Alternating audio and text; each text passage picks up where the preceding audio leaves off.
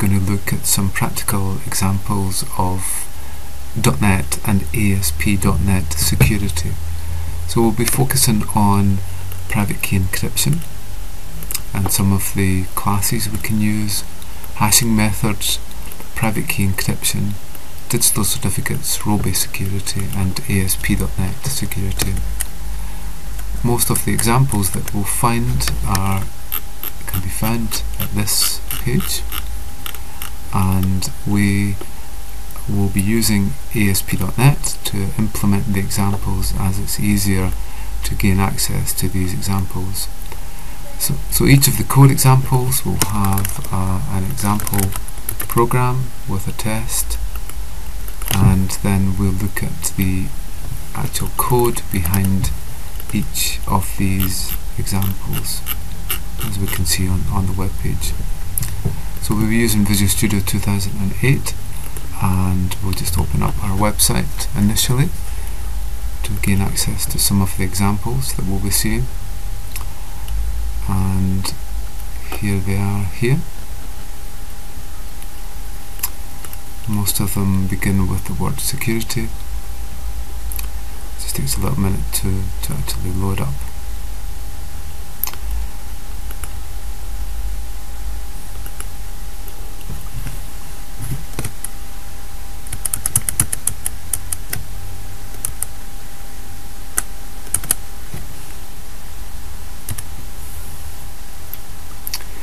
Okay, so let's look at encryption. For this we'll look at both public key encryption and private key encryption and then look at hashing methods. So basically there's three main types of encryption. The first type is symmetric encryption. With symmetric encryption both Bob and Alice use the same shared secret key to encrypt and decrypt. So in this case Bob takes a message, encrypts with one key sends it and then Alice and Alice then decrypts with the same key that Bob used. Some of the methods we'll see here include RC2, RC4, DES, 3DES and AES. Public key uses two different keys and these are specially designed where Bob can encrypt with one key and then only the other key the other special key can then decrypt it. This is known as a private key and this is known as a public key. If Bob wants to communicate with Alice, then Bob gets Alice's public key, encrypts it with the public key, and only Alice's private key can decrypt it. So typical techniques that we see here are RSA and DSA. Along with this, there is a one-way hashing method in which it should be difficult to reverse the encryption procedure. So one-way hashing takes a message and then creates a hash signature of it. So typical methods for this are MD5 and SHA.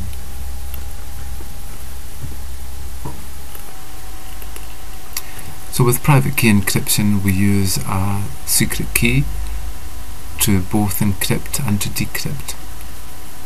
So with this Bob takes the secret, the secret key encrypts his plain text into ciphertext, sends it over the channel, and hopefully Eve doesn't have that key, and in some way Alice has received the same uh, secret key, and then she can then decrypt it.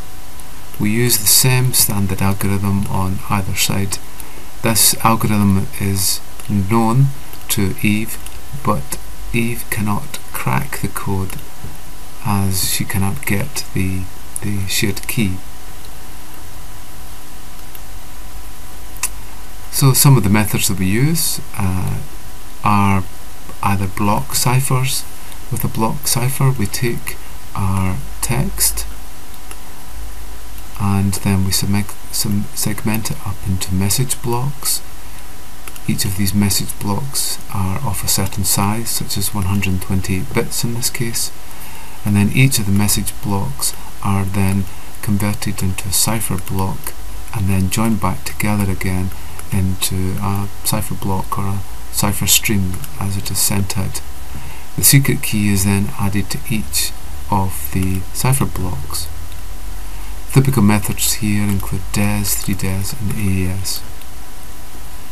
Sometimes we need a fast real-time encryption on limited hardware and with this we will often use a stream cipher such as RC4 and we see this in WEP encryption within wireless. For this we take our plaintext one bit at a time. We take our secret key, add on a random seed, typically known as an initialization vector, and then the method itself creates an infinite key.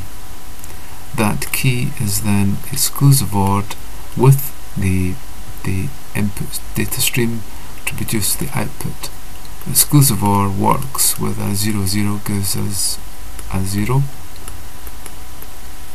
a 0 1 exclusive OR gives us a 1 a 1 0 gives us a 1 and a 0 0 gives us a 1 a 0 the advantage of exclusive OR is that none of the actual original information is lost when we do the exclusive OR operation. The problem that we have now though is that if we have a message and Eve listens to the message then she can see the, the cipher stream and the problem with this is that Eve could play this back sometime in the future and it would look like a valid message even though she cannot find the encryption key she can then do a playback. She could also copy and paste bits of the message. She could even spend her time uh, analysing the mapping between the ciphertext and the plaintext. Thus, we often add what's called salt into the encryption process, and this stops the same piece of plaintext arriving as the same piece of ciphertext. So this shows an example where we might take uh, some encryption and we create an encrypted block. And if we have the same data then it will be encrypted into the same encrypted block. What we often do is add salt and this is typically done with an initialization vector or IV with this we take the first encryption block, add on an initialization vector, and then we might increment the IV vector on by one say, and then use a different encryption process. An example of this is shown here. We take an, an, an image and without salt we can see here even if we're using the top quality encryption methods such as AES we can still see the original parts of the original message uh, information in it because uh, the image itself is split into a number of segments. So the same segments when encrypted are likely to come out with the same uh, cipher block. If we use salt we can see here that we, we uh, scramble all of the original data. So some of the methods we use, we started off with DES. DES uses a 56-bit key and it's fairly easy to crack DES. So uh, to overcome these problems and to keep compatibility, the 3D me 3DES method was, was created. For this we create two keys, two 56-bit keys. We encrypt with the first key, decrypt with the second and re-encrypt with the same first key. So the key strength is about 112 bits. RC2 was meant to overcome some of the problems with uh, 3DES and uses 64-bit block, bit block, block codes and uh, from 40 bits up. A competition was held for uh, a much more secure and uh, an efficient encryption uh, method and Rijndael or AES was, was selected. Okay, so let's look at our first example, which is Security 07. And we go back to our Visual Studio project and find 07. It should be here. Okay, so with uh, AS, ASP .NET we have two main files. We have the ASPX file. We can have a look at the source. And we can see here that that links to this CS file. And this is our namespace underscore default 5 so those are the two main things that we need to see with inside our CS file. And we should find that our our main uh, class there is default 5 and this is the name of our CS file okay so if we go back to our design we can see here that we've created a text box. Uh, if we can find the properties here this one's called tb message this one's called tb encrypt this one tb decrypt and we have a text box here called tb key. And so I've added uh, an encryption button and we can see the event on the encryption button here. These are all our other events. And we can basically just double click on encryption button. And we can see this is the this is the method that's actually ca called. In this case we create a triple a triple DES crypto service provider. And then what we do is we create our key and we create an initialization vector so 3DES itself has two main elements, the IV and the key. The initialization vector is made up uh, with, in this case we're not actually varying it, uh, but we can see here that we have 64 bits with inside our, our, our initialization vector each one of these characters is worth 8 bits and that then is, is converted into a, a byte array. So we normally work on bytes uh, with inside our encryption process. For the, the other part uh, we have 24 characters that we create which equates to 24 bits. So we end up with a, a key byte array and with an IV byte array. The number of bytes in each array will be in this case 192 divided by 8 and in this case uh, 8. So uh, the first thing we do is that we create our uh, crypto transform uh, object and then we have a, a, memory stream that we're going to encrypt from. And then we create from this a crypto stream. So this takes the memory stream and puts it into the into a crypto st stream. After this we can then write out our crypto stream uh, into uh, our ciphertext and we can convert the the encrypted stream back into text using the byte to string method that we have down here. And this takes a byte array and converts it back into it takes a byte array and converts it into a string. Then to make sure it's working we can then do the reverse of it where we can decrypt from our encrypted memory stream back into text and we should be able to then check the the result. So if we now run the program, so this is 3DES and we have test, we'll create a key.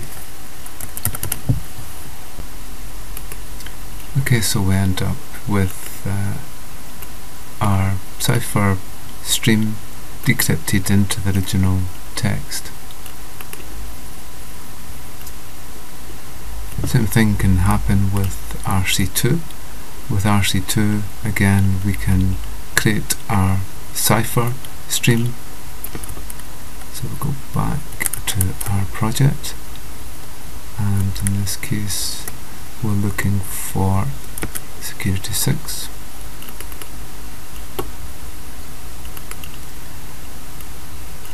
There we are. So for an encrypted encryption program Uh, in this case, we have 12 characters, so it's 12 times 8 gives us our key size and then rather than, than create the, the stream, the IV vector by giving it a value, we'll just create a byte. So in this case it's a 64-bit IV uh, value that, that we have. And then we can create the key from here, we create our byte array. Again, same again, we, we create our encryptor, create a memory stream. We encrypt the, the memory stream into a cipher stream within memory with our encryptor and our memory stream. And in this case it's our write mode.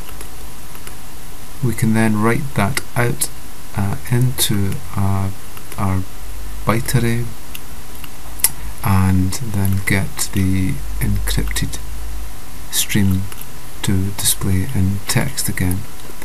Then we should be able to check it to see if it's running okay. And with uh, Visual Studio we can run a local web server. So in this case we need to set the, the default page to be this one just to check it locally. And we run it make sure that everything is okay. Obviously the IV vector will not change so when we encrypt we will get the same cipher stream each each time okay so it's a similar similar method in this case I've, I've uh, we're now going to look at AES encryption. With AES encryption we use uh, 32 uh, bits here and we use 16 characters for the for the IV vector. So in this case we're looking for 15 and we just stop this and then for 15 you can see here that's an encryption. And that's 32 characters. So if we do a quick calculation it's 32 times 8 because there's 256 bits. Here okay so we do the same again. We create our key and we create our IV vector and put it into a byte array we create our encryptor again with the key and our IV vector. Create a memory stream. We encrypt the memory stream with our encryptor and then print it out. So it's the same type of methodology for each of the tests and we'll just have to make sure that we've started the right page here and that's the previous page. So we've want 15 set that as the default page. If we want we can go back to the website and be able to find the example there. It should run online. And for this it's AES which gives the strongest encryption that, that we we require one of the strongest encryption methods for private key. It's just taking a little time just to speed up. Oh, there we go.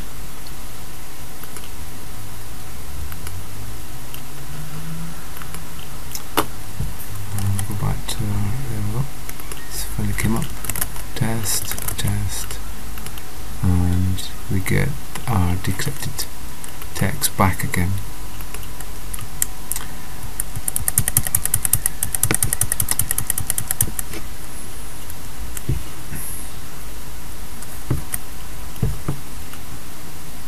okay so that that was Rijndael so let's now look at public key encryption with public key encryption, uh, both Bob and Alice create a public and a private key.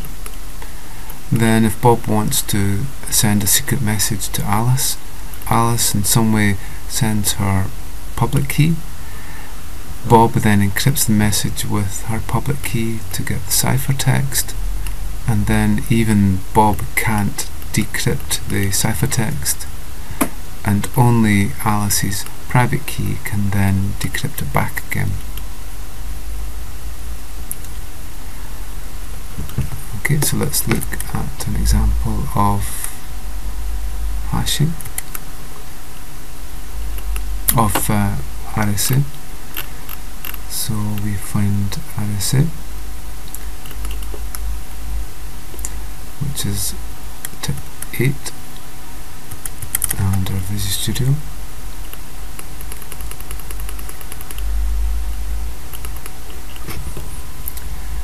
Okay, so in this case, uh, we take our text, we then uh, encrypt, it will create a public key and a private key for us, and then we have our encrypted text and our decrypted text. So we just have a look at the uh, RSA method.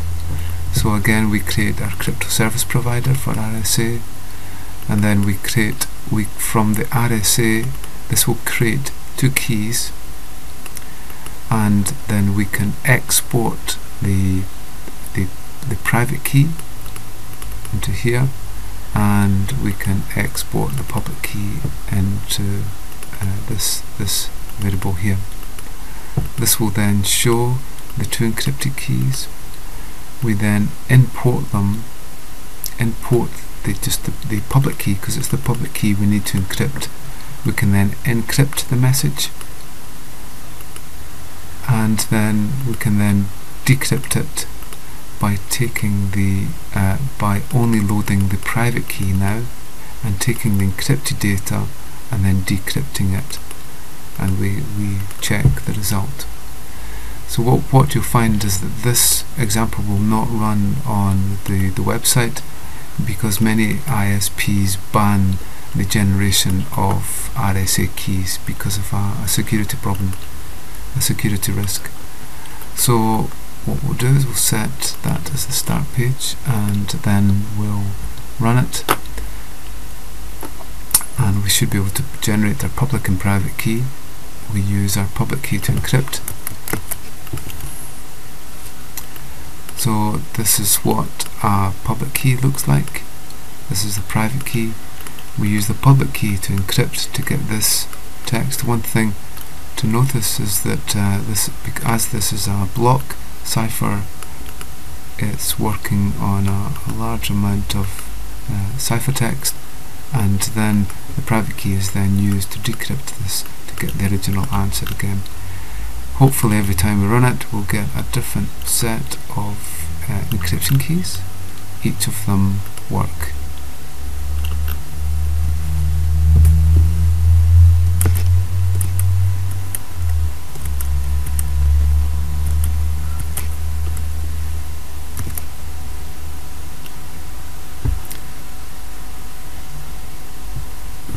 The third encryption method is one-way encryption or hashing.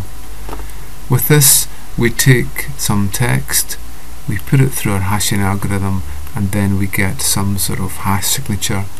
It shouldn't be possible uh, or it isn't an easy task to be able to reverse that back into the original text. So for example we might have some text here, put it through the hash and we get a hash value. Eve shouldn't be able to guess what the original text actually was. Typical methods that we use is MD4, MD5 and SHA1. So for example, uh, NT, XP and Vista use an, an NT hash using MD4 to store the password. Cisco devices also score, uh, save a hash, an MD5 encoded uh, equivalent of the password. Unfortunately it suffers from a dictionary attack.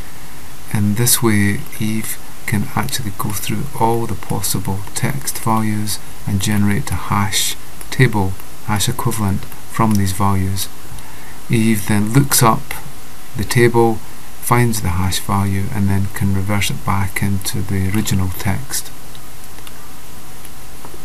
Another problem is that we might have a collision where it is possible for different text to produce the same hash signature and it's been shown that MD5 can produce what's called a collision within less than a, than a minute. SHA1 is better uh, with a time of 18 hours. Okay, so let's look at an example of uh, generating MD5 and SHA1 and the other methods. So we look at security example 3 in this case. And we just stop this from running. And we go to number 3 and look at design. So this is the input text and then we have a look at our code here so what we do is we create a crypto service provider again. It's fairly easy in this case. We then convert our text into a byte array we then take that uh, byte array then compute the the MD5 hash from that byte array uh, this produces an output byte array we can then use a byte to string method which I've created here to convert it from a byte array uh, one byte is 8 bits uh, back into a text string for us to display. So in this case we can then run and we're running the wrong one. Just make sure we get the right one. Uh, we want to start number three. Set up startup. Run that. And then we should be able to generate a hash signature. If we take the word hello every time we run it we should be able to get the same hash signature. We change one letter of it and we should be able to get completely different hash signatures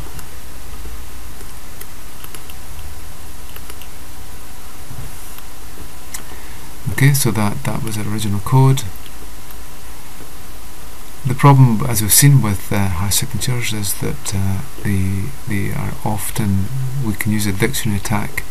One way around this is to add uh, salt to it so that we can have a range of uh, hash signatures for the same original ciphertext and it becomes more difficult for Eve to try and guess the original text. Okay, so if we look at example 3b, we should be able to see uh, an example here of this. Stop there and go to 3, 3b.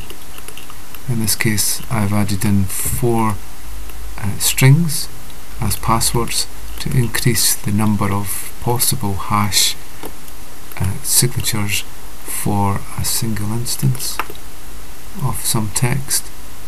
So we just set that up to be the startup. And we just run it.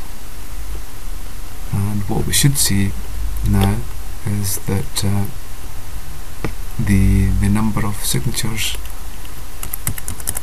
created should increase. So let's use the word text as the salt. Let's use the word text again. Should give us the same hash signature. Let's use bill and we can see a different hash here.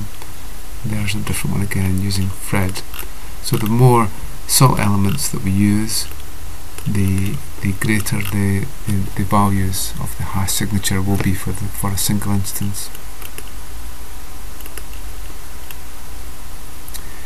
so it's a very similar code but in this case we add in some some salt uh, and then we use that as part of the hashing function. The last method with inside hashing is HMAC. With HMAC we provide both authentication and uh, validity of, of a message. So in this case Bob sends the, the word hello, takes a HMAC signature of it and with HMACs we have a shared private key that both Bob and Alice know. Then that signature is then sent over. At the other end, uh, Alice receives this. She does her own HMAC with, with the same shared private key and if the hash signatures uh, are the same then she validates the message and she also validates that it was the correct shared key that created the message. Okay, so example 1 will give us an HMAC example. So we set this one up to be the startup. And just load it up. So in this case we've got a message, we have a key and we generate HMAC from it. It's a similar way as, as before, but in this case we, we get a key byte and when we create our uh, original hash uh, objects we use the key byte to create them. So if we just try this. And a weakness of some of these methods is that we're obviously using strings, well-known strings to uh, for our keys, which can be easily guessed. But uh, we, it's useful to use them as as a as a test. Hopefully, if we use this one with hello, and then we should get the same HMAC uh, produced. Uh, nope. Uh, obviously slipped up. Oh, sorry. And that's the SHA one that that I've created then. So that that has select that has worked perfectly.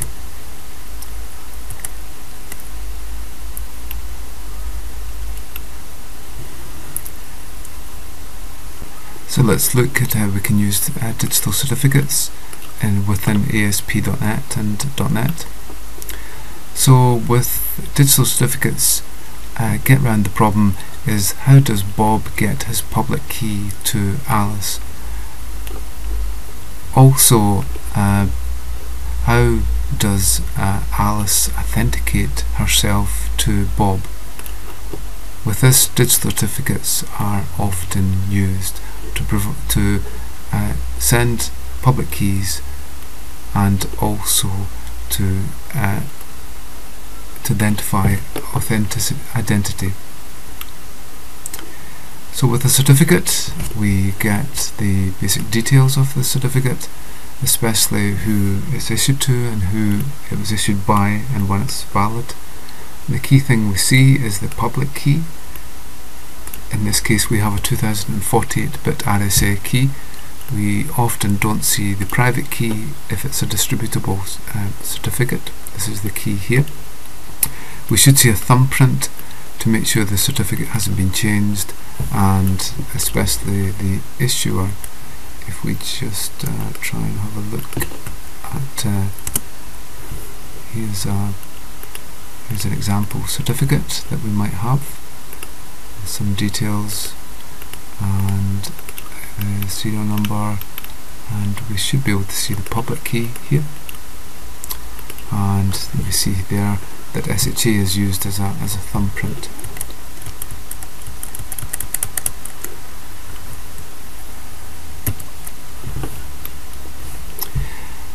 Okay, so we get two types of certificates. One is when we buy a certificate or are issued it then we get this type of certificate that has both a public and a private key on it. When we export our certificate, we will again get this type of certificate which only has the public key on it. So the public key format looks if we if we've just bought a, a certificate we might get an email and it might have this body of text and it's this body of text that we can use to import into our certificate. This shows an example of how to import our certificate into our into our storage. Uh, so an example uh, that we might see, we can copy that to file and export into a base64 format.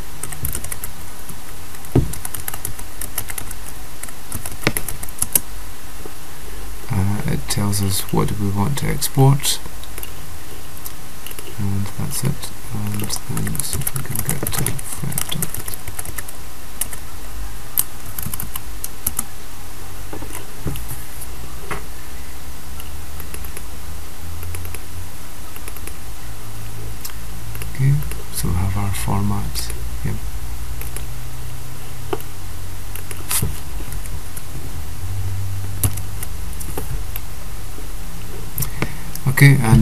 and uh, this is how we tend to use our certificate.